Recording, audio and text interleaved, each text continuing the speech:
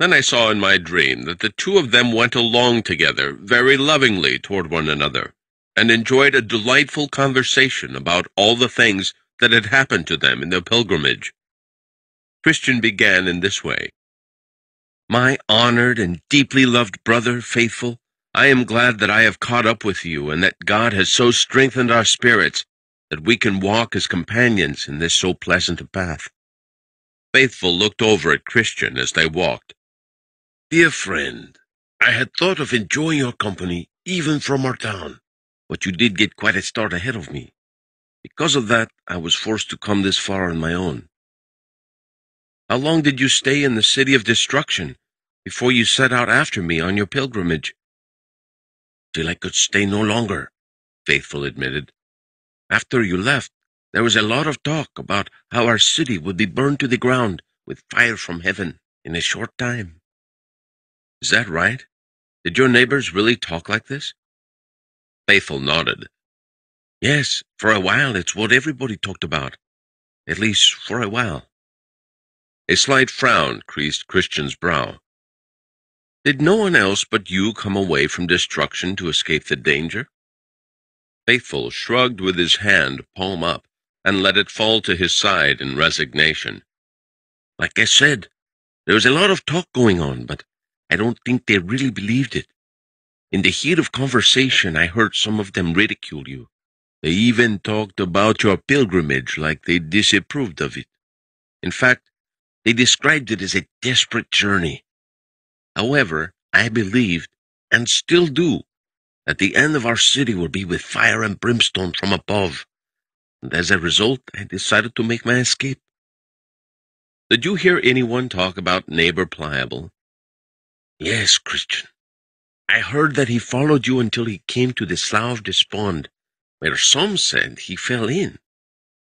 He wouldn't say anything about it, but I'm sure he was thoroughly covered with the foul dirt of that place. And what did the neighbors say to him? Since he returned, he has been the subject of considerable derision from all sorts of people.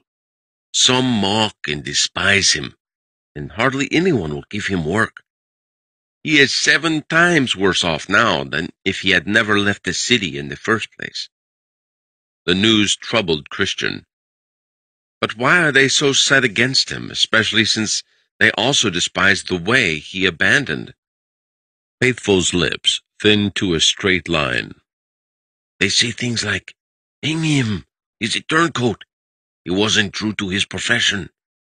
I think God has stirred them up to hiss and jeer at him, and make a proverb of him because he hath forsaken the way.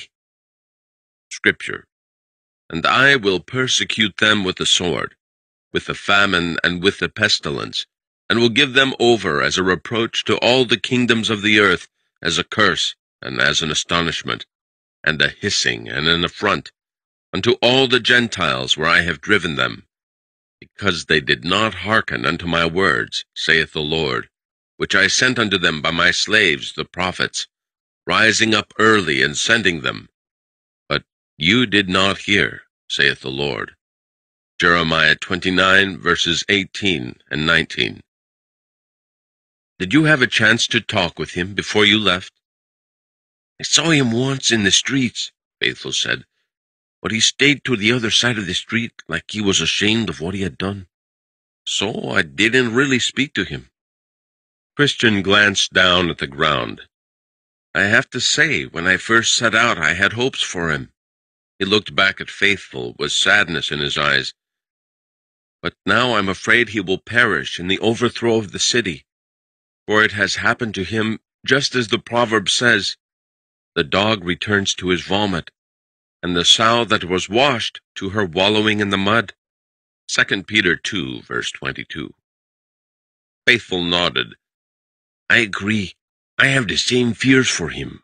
But who can hinder that which will be?